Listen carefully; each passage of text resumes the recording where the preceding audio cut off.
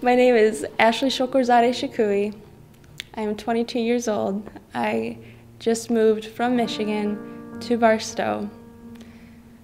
When I was a kid, my family was very involved in the church.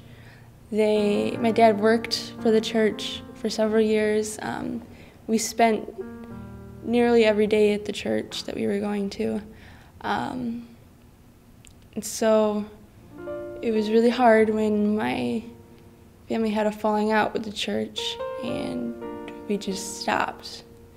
My parents converted to a different religion that didn't feel quite right to me. So I kind of did my own thing from ages 13 to 19.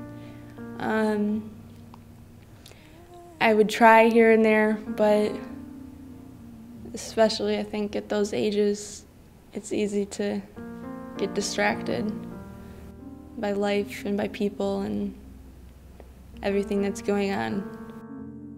Josh and I have known each other for about two years. um, he moved to Barstow not long after we met. Um, so I visited a few times, um, including visiting here at the church not long after he became a Christian. Um,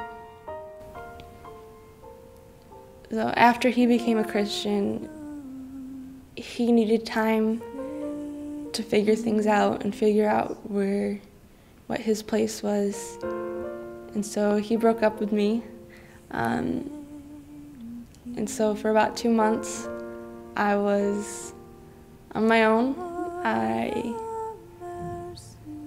grew a lot closer to God during that time because it required a lot of faith and so I did a lot of praying. Um,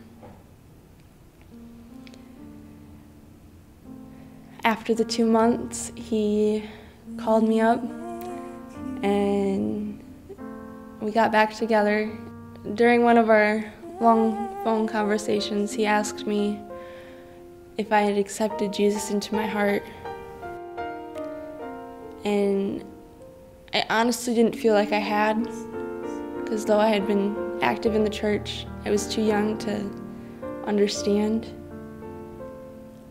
Um, and so when he asked me, I didn't feel like I was worthy of having him in my heart, of asking Jesus to forgive my sins. But Joshua talked me through it and it came to the realization that nobody deserves it. but it's given to us regardless, and that's His mercy and His grace. Um, now I am living in Barstow. I am married to Joshua. I am ready to be baptized.